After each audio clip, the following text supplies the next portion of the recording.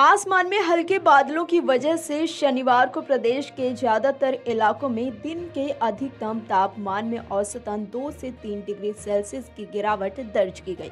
लेकिन गर्मी से विशेष राहत नहीं मिली। वरिष्ठ मौसम वैज्ञानिक अतुल कुमार सिंह ने बताया कि पश्चिमी विक्षोभ की वजह से आसमान में हल्के बादलों की मौजूदगी से शनिवार को तापमान में हल्की गिरावट तो रही, मगर अगले दो दिनों तक गर्म हवा और लू के थपेड़े चलेंगे।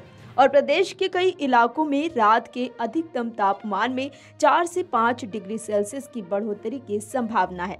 इसे उष्ण रात्रि या वार्म नाइट कहते हैं। मौसम विभाग ने अगले दो दिनों तक कौशाम्बी, प्रयागराज, फतेहपुर, प्रतापगढ़, सोनभद्र, मिर्जापुर, चंदौली, वाराणसी, संत रविदास नगर, जौनपुर, गाजीपुर, आजमगढ़, मऊ, बलिया, देवरिया, गोरखपुर, संत कबीर नगर, बस्ती, गोंडा, कानपुर नगर, उन्नाव, लखनऊ, बाराबंकी, रायबरेली, अमेठी, सुल्तानपुर, अयोध्या अंबेडकर नगर और आसपास के क्षेत्रों में उष्ण रात्रि रहने की चेतावनी जारी की है। इन इलाकों में रात के अधिकतम तापमान में चार से पाँच डिग्री सेल्सियस की बढ़ोतरी की संभावना है।